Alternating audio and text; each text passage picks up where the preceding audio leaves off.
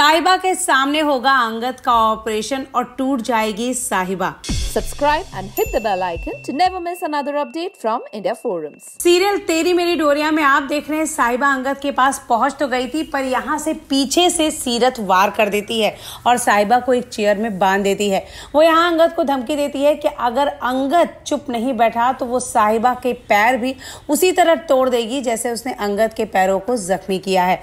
उससे भी बड़ा ट्विस्ट ये है कि यहाँ पर आ, सीरत अंगद को उस ऑपरेशन रूम में ले जाती है और यहाँ पर डॉक्टर भी पहुँच जाते हैं जो अंगद का चेहरा बदलने आए हैं। साहिबा यहाँ हाथ जोड़ती है सीरत के सामने और ऐसा करने से मना करती है लेकिन सीरत किसी की नहीं सुनती। डॉक्टर यहाँ ऑपरेशन की शुरुआत करते हैं पर अंगद यहाँ पर इस बात के लिए तैयार नहीं होता वो विरोध करता है। ऐसे में सीरत डॉक्टर से कहती है कि अंगद को बेहोशी का इंजेक्शन दे दो। साहिबा पूरी कोशिश कर रही है अपने अंगद को बचाने की लेकिन तरह वो लाचार हो रही है। अब देखना यह है कि क्या सचमुच सीरत अंगत का ऑपरेशन करवा देगी या फिर बाहर जो फैमिली अंगत की फैमिली जो इंतज़ार कर रही है, वो पहुँच जाएगी अपने अंगत और साहिबा को बचाने।